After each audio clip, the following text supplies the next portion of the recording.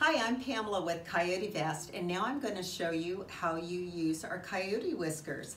Now, if you get them in your box pre-assembled, they're going to come like this. The single whisker is going to be attached to the large six inch Velcro. All you need to do is pull it off.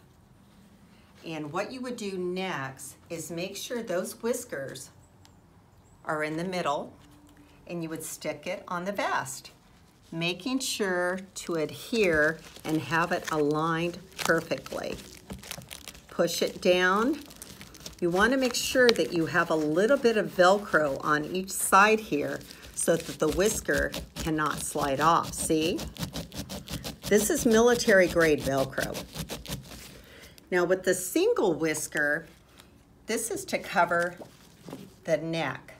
So what you need to do is put your spikes up a little bit and take this whisker and horizontally, see how the two inch strip is horizontal? Stick it on the centerpiece here and put the spikes on top.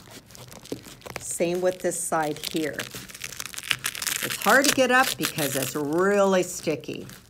Now the reason you want to do this is you want to make sure that that two inch strip is underneath these spikes. So it's very difficult to get off. I am shoving it and pushing it. I cannot get it off. So you want to make sure everything's adhered, that that two inch strip is underneath the spikes.